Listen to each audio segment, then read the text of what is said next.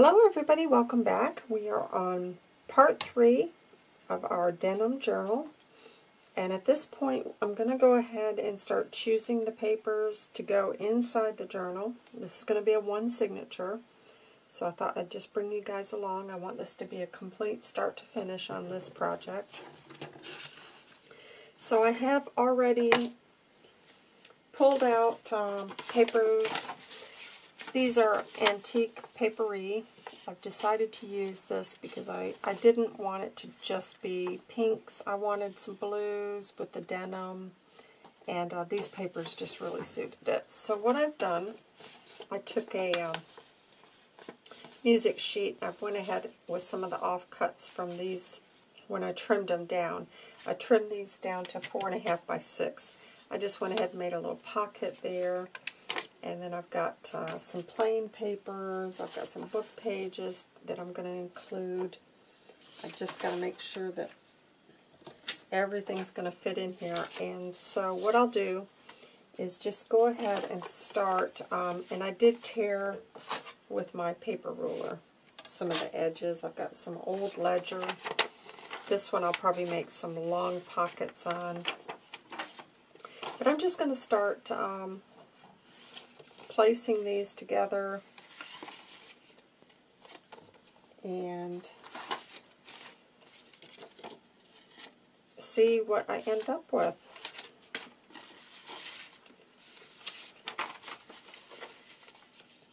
This was some old paper I ran across at my um, father-in-law's. Um, we, you know, I told you we recently cleared out my mother-in-law and father-in-law's house, and you can tell, look at the, the lines aren't even straight on it, but I loved it. So just going to add some of that in. And yeah, just got a mix of papers. I got some uh, French book page because I'll probably come back, add some pockets to this, and um, just try to mix it up a little bit.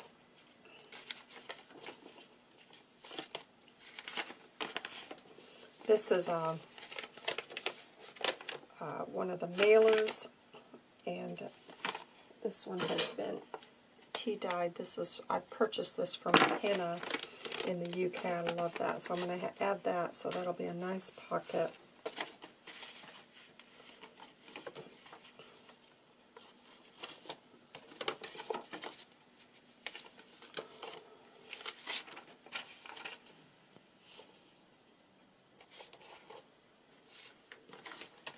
So I just want to get a nice mix of papers. Um,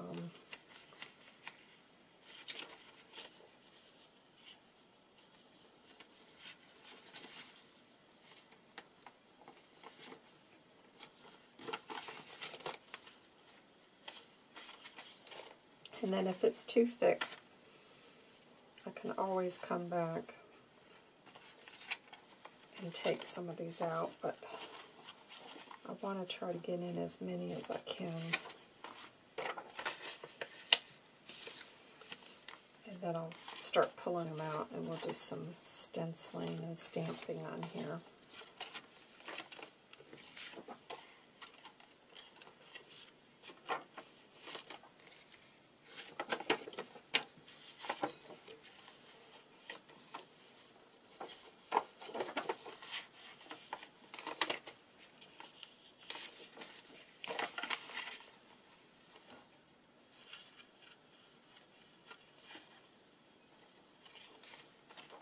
Pull this out because that one's quite a thick page, so I'm going to pull this one to the front.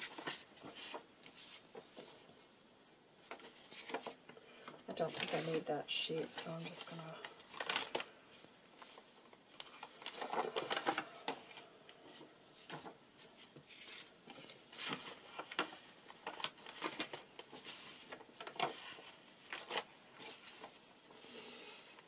Okay, so that's one, two, three, four, five, six, seven, eight, nine, ten, eleven, twelve, thirteen, fourteen, fifteen, sixteen, seventeen, eighteen, nineteen, twenty pages. I don't want that at the center, I know that, so I'm going to swap that around. and I'll have the avocado one at the as my center page.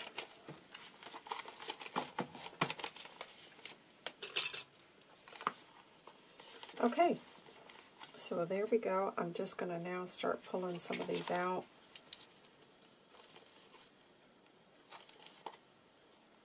And do a little bit of stenciling on them.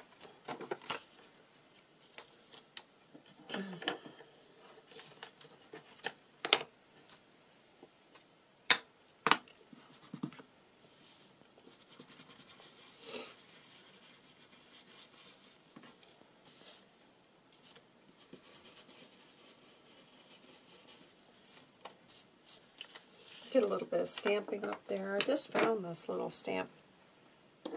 You know, I use this one along the top quite a bit, and I've had so many people ask me about this, but this was an unbranded stamp that I bought years ago. And this little one was in the same set, and I don't know why I've never used it. So I just found that, and I love that little little stamp, so I'm going to start using that.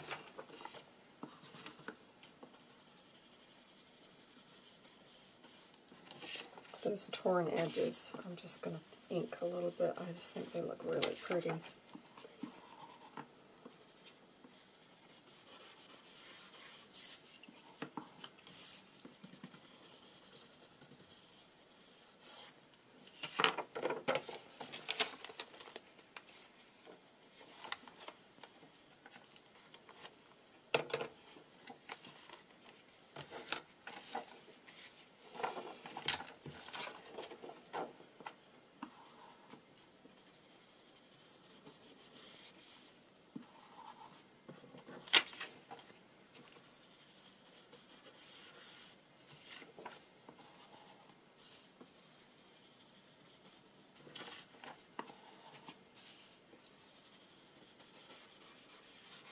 Okay. So we'll just slowly go through this and um, let me do a little stenciling on this. Actually, you know what? I'm going to put some stenciling on this book page. I think that would be pretty just to break that. The book pages, I tend to come back and use those as my place to add um, pockets and things. Not always. Sometimes I leave them plain, but they seem to lend themselves really nice to layer your pockets on. So just a little bit more stenciling because I don't know what I'm doing. You know, I don't think that far ahead. just winging it again. just that's just how I, I operate. And uh, it doesn't always work out, but you won't ever see the ones that don't. I, I generally, they'd end up in the trash bin. I used to try to save stuff and think, oh yeah, uh, yeah, I'll correct that. But you know what? It just got to be too much. Um, whoops, that's the wrong ink. I, it just got to be too much. And I don't know about you, but I'm um, the type of person, if I've got too much stuff hanging around, it stops my creativity, so I just bin it now. Because if it didn't come out, I look at that. That's why that didn't come out. I inked it up on that one. Um, this is why it's so hard for me to work and film, guys. it's honestly, you just have no idea what a challenge this is for me. It does not come natural, I'll tell you.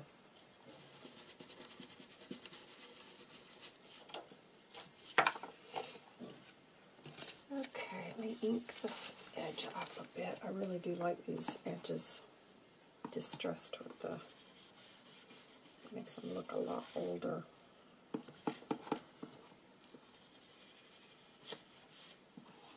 Yeah, normally when I'm creating, I've got music on or some of my people that I watch on YouTube, I might get them. Not not necessarily crafters because the crafters I try to watch those when I can be fully focused. But it just I don't have that much time. I'm so far behind on um, the people I watch. It's just getting crazy, but I'm not going to do anything on that one. Uh, let me just add a little stamp to this. Um, some of the people I like to watch are my outdoorsy folks. And um, even them, I'll have to go back because I miss it when you know you're working. It's just sometimes it's nice to have a little bit of sound going on in here. Oh, that's two sheets. I didn't mean to do that. Oh well, I'll put that in somewhere else because I like those to kind of break things up. Let me stick that somewhere.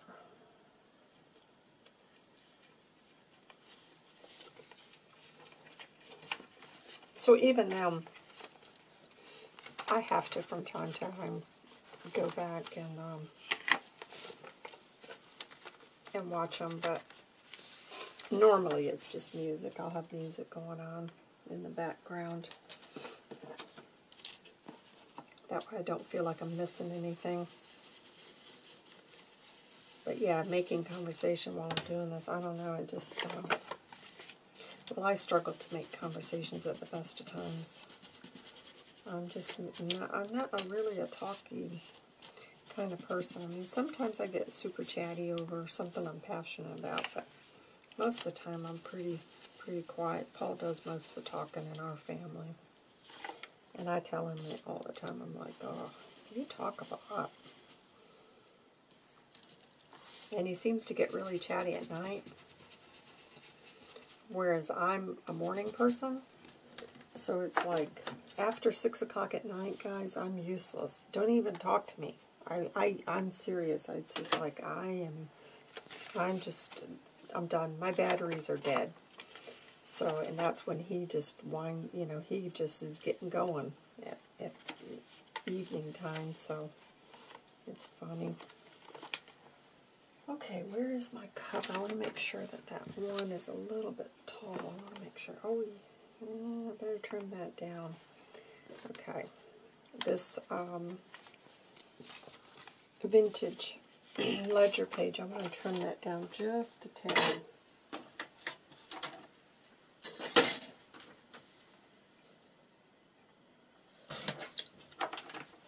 There we go. That's better.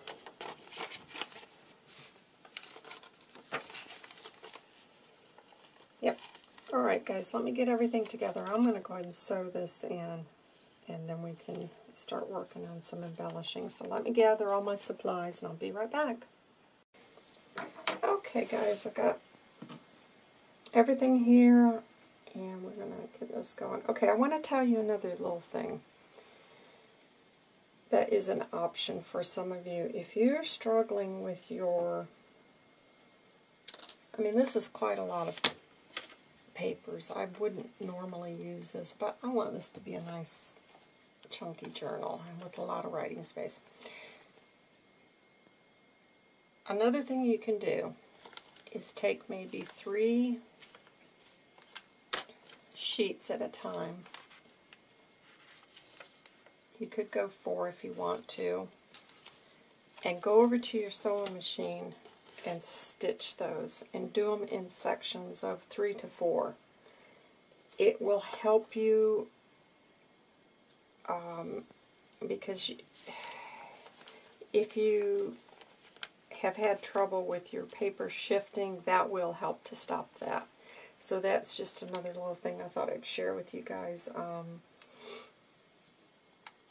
let me check that paper there. That's still, I'm going to trim this down. That's bugging me. It's, it's way overlapping. So let me just trim that off. So um, just keep that in mind. That's another thing you can do. I consider doing it with this one, but I didn't. Um, but I probably should to keep. It just makes it easier when you go to sew, sew it in, and it also reinforces um, those pages. They're you know they're going to be there for sure. So just that's another little tip. You can just take them, like I said, three to four at a time, and do a straight stitch down the center, and then get them back into the order that you want, and then then sew them in. So. Okay, again, I'm going to do a five-hole pamphlet. So I just, I just mark my, I'm going to do it at one and two. You got to have one of these if, if you're new to journal making. These are so handy. Okay, so now let's get our holes patched. Now I'm going to punch these before I put them into the journal, just because I want to make sure that I've absolutely got that right on the um, the crease there, because the, these are so thick. Um, they will have a tendency to want to slip slip around a bit. So I want to do this first, and then I'm going to put it into the journal cover because I want to make sure, because these stitches are going to show, I want to make absolutely certain that this is a straight stitch.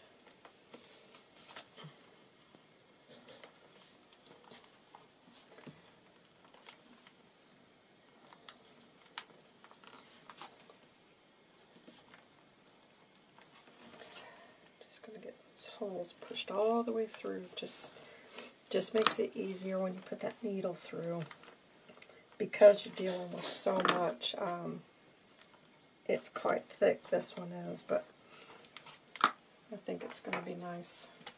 Alright, so now what I'm going to do is get that lined up because I want to make sure I, I, because the way that I've made this spine, this has got to be absolutely perfect. Otherwise, that stitching is going to show if, it, if it's not straight, and I am not going to be happy with that.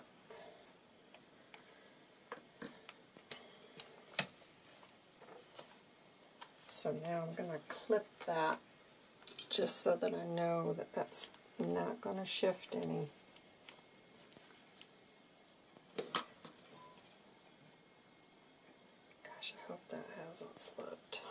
It looks like that one may have. Ooh, I hope not. Let me take this off.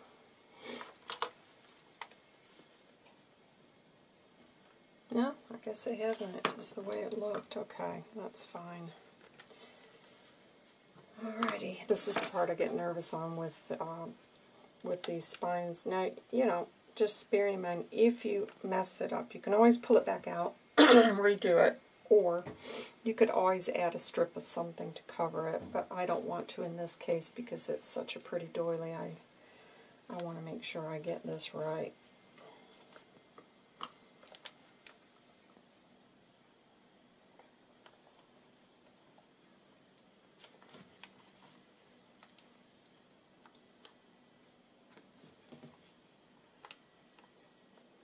Okay, here goes here it goes. Because the thing is, you can punch these holes through, and you still oftentimes can't tell until you actually run that stitch through.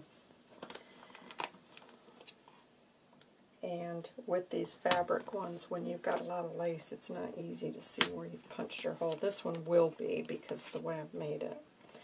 But I have had journals in the past where, boy, it's a struggle to see but yeah, you can see this one. You can see where I've punched them, which is awesome because I can...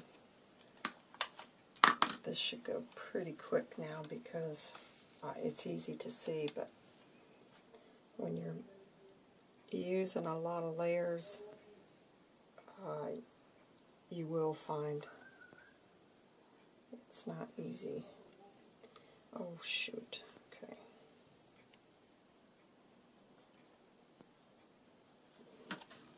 Give me a second. Give me a second, guys.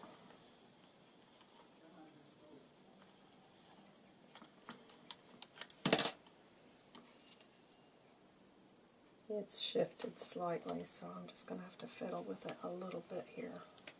There we go. Hopefully now I can stitch that in easier, I hope.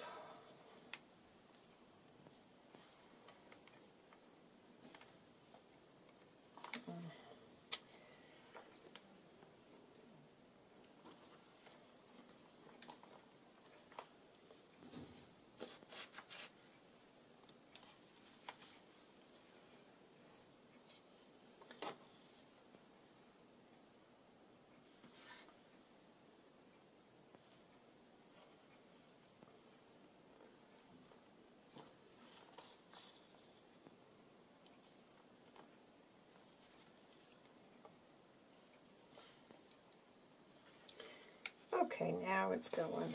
It just those first couple of stitches are the hardest because um, you can't snug it up until you've got a few of them in there. Oh, come on now, come on. And yeah, talking to your journal helps.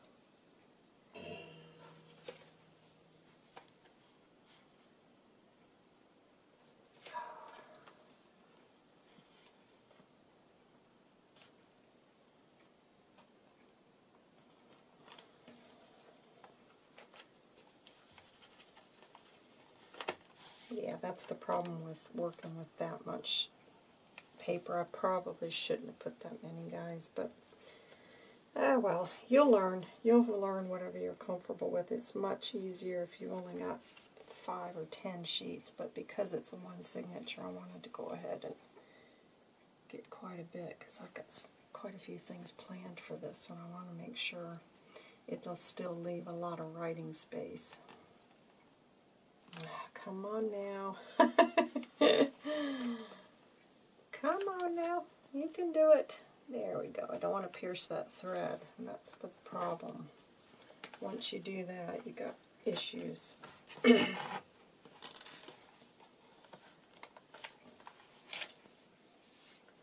so yeah, I'm really happy with that. That's a little bit wonky, but it's not that noticeable. It's slightly over, but Make sure it's all tight.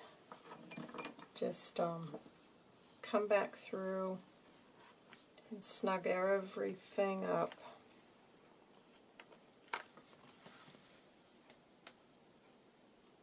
Because you want those signatures in really, really tight.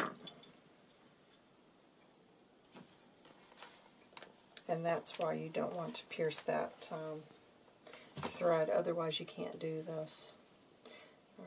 That's good. I'm happy with that. And I'll just leave these dangling. I'll put something in the center of this one. Sometimes I snip them right off, but I do think it's prettier if you got a few little charms hanging here and there. So